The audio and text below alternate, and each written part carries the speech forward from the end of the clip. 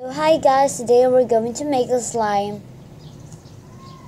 So here's my slime that I'm going to make. So let's get started. So first thing we're going to add in the bowl is a sticky white glue. There is our sticky white glue. Get our spoon. Let's just mix it. Hmm. There. And let's just add some activator. So I'm using the detergent for this.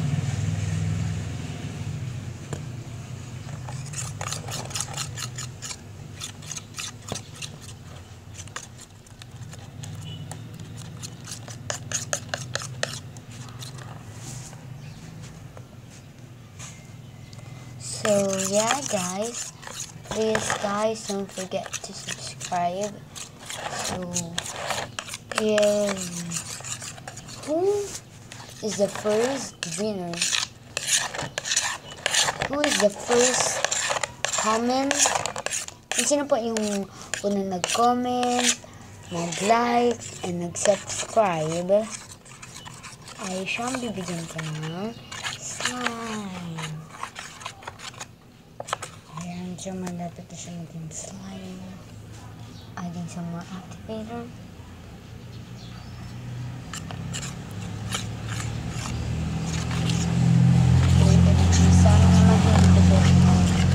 Overactivated. Overactivated.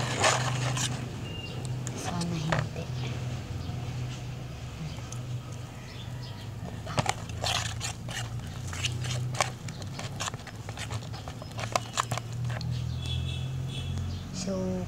Para na lang para sa akin, ko na lang po sa akin.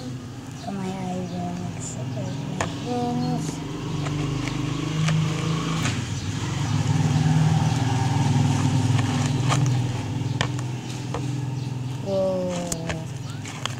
Amazing. Amazing. Amazing. Amazingly amazing.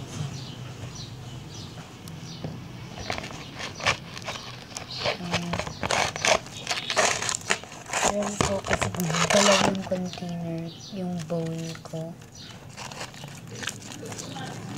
So, i-mix, mix, mix na lang po natin siya na mabuti yan. Sa maging slime siya. Yan.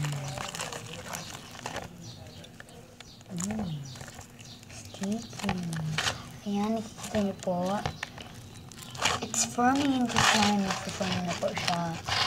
Parang maging slime. Ayan.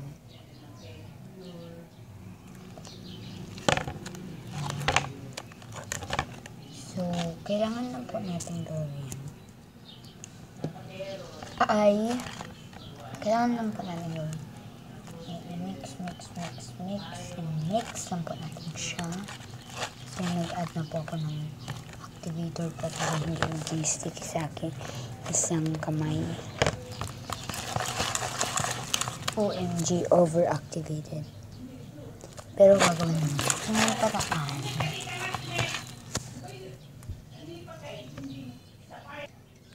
Ayan. So, imimix lang po.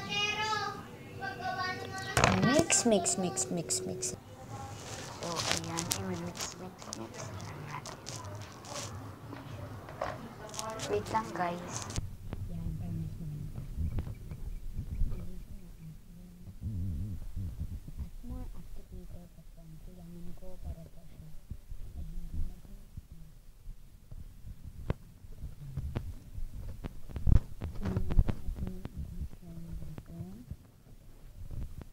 At ayan, lalaruin, lalaruin na lang natin para maging So, ayan ang ating slime. Yun yung sticky sa kamay ko.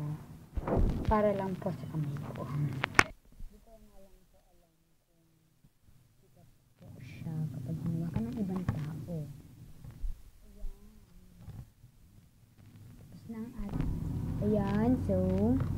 is last pearl lang po natin. Oh. Pinakapangit ko po yung seal. Kasi po, kasi po, kasi po, kasi, kasi po, ayan, ayan, ayan. Ooh, look at that. Palaki ng palaki. Eh, wala na. Palit na lang. So, thanks for watching. Don't forget to subscribe, comment, like down below. Dahil nga po nang sinabi ko, gagawa, ay magbibigay po ako kung sino man ng unang-una na nag-like, comment, and subscribe down below. Bibigay po ako ng slime. So, yes. So, meet up place na lang po kapag magbibigay po ako ng slime.